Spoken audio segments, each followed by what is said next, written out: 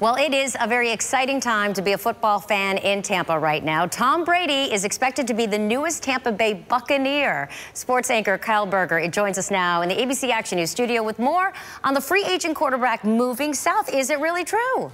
It's close. It's not true yet. NFL free agency opened about seven minutes ago. We're still awaiting official word on Tom Brady signing with the Tampa Bay Buccaneers. And to get fans excited, the NFL's verified Twitter account I tweeted out these pictures of Tom Brady in the Bucs uniform with some of his new weapons here, Mike Evans, Chris Godwin, and you notice this picture right here.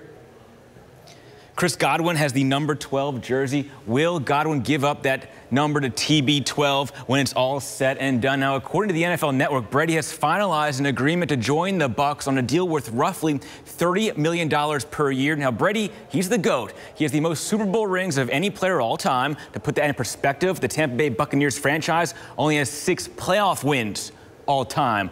Another reason for Bucs fans to get excited, this season's Super Bowl is in Tampa. The host city has never had its home team play in the Super Bowl. Tom Brady can add to his legacy and make some more history. Chris?